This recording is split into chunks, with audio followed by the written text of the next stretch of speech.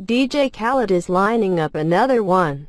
The exuberant producer shared a clip from the set of a new music video with Cardi B overnight, confirming she will guest on his next single.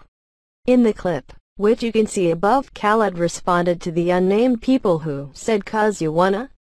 Grammy, I can't get you on my album. She responded in disbelief at either him or the people and said, who the fuck said that? This is right after the Grammys. Cardi B made history as the first female solo artist to win the Best Rap Album Grammy at this year's ceremony.